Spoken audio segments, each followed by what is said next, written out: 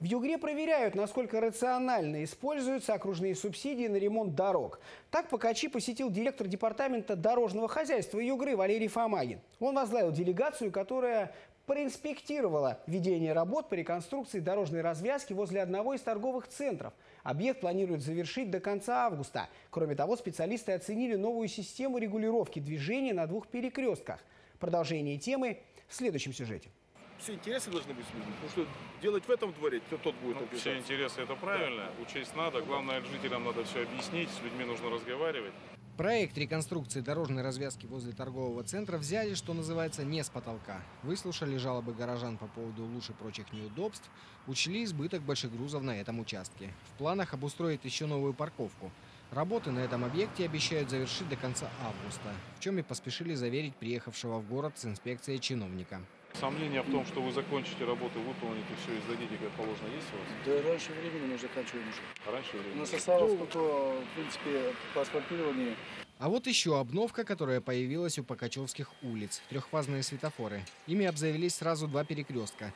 Теперь здесь пешеходные и автомобильные потоки полностью разделены. То есть, когда пешеходы переходят улицу, машины стоят во всех направлениях. С теми светофорами, что здесь были раньше, реализовать такое было невозможно. Светофоры все, все старого, да, все старого образца, как бы они даже не предусматривают установку вот этого обеспечения, так сказать, контроллера, который. Ага. Поэтому мы здесь вот это вот все перекопали. Вот это все в этом году. Да, здесь вот первая пешеходная фаза, которую мы здесь вот установили.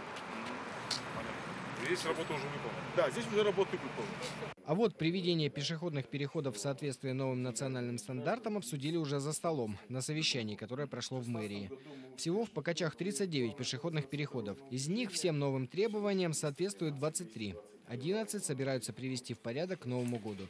Незакрытым вопрос остается еще по пяти. Я бы все-таки порекомендовал синхронизировать всю эту работу и постараться все-таки сделать ее до конца года. Понимая, что вот в крупных муниципалитетах с э, большой численностью населения, там до 100 тысяч человек и выше, там и 300 у нас есть.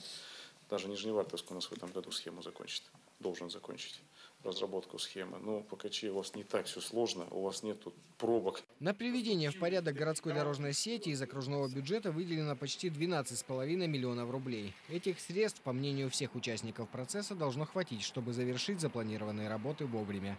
Павел Желтов, телекомпания «Югра» при содействии телекомпании «Ракурс».